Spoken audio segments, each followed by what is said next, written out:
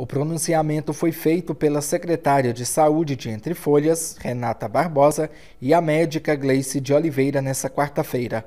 Segundo a responsável pela pasta, a renovação da receita será feita após avaliação médica todas as terças-feiras a partir de meio-dia. A medida tem como objetivo inibir a automedicação.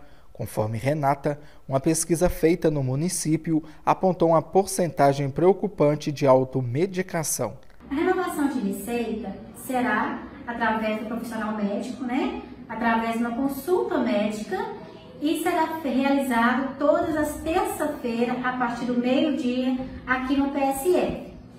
A Grace vai explicar para vocês aqui a importância da renovação da receita pelo profissional médico, porque assim, foi feita uma pesquisa né, no nosso município, há um tempo atrás, que estava tendo muito índice, né? É, a porcentagem é muito alta de automedicação. É, a, as receitas elas continua, continuarão sendo renovadas, né? Mediante uma consulta médica, a, a, o paciente será reavaliado novamente, né? E aí a gente vai é, estudar com o paciente se vai continuar com aquela mesma medicação, se vai ser necessário introduzir novas medicações ou até mesmo retirar essa medicação, porque o paciente às vezes ele esquece né, que ele tem que passar por uma consulta periódica.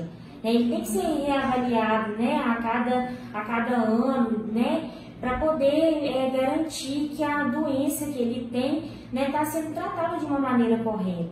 E existem riscos né, da automedicação. E às vezes o paciente chega aqui e fala, ah, eu quero tomar, fazer uma receita de uma medicação que meu vizinho tomou que foi bom para ele né? E de repente a gente estava renovando essas receitas, né? Sem conhecer a história do paciente. Então, pelo bem da população, a gente decidiu que fosse assim. O uso inadequado de remédios pode trazer consequências sérias para o paciente, como reações alérgicas, intoxicação, dependência química e, em casos mais graves, e até a morte. Segundo informações da Secretaria de Saúde, a partir do ano que vem, a pasta reforçará o trabalho de prevenção de doenças.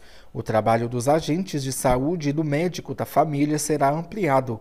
Sendo assim, pacientes acamados ou com dificuldades de locomoção serão atendidos em casa. A equipe de saúde ressalta que o novo procedimento foi adotado exclusivamente para a proteção da população.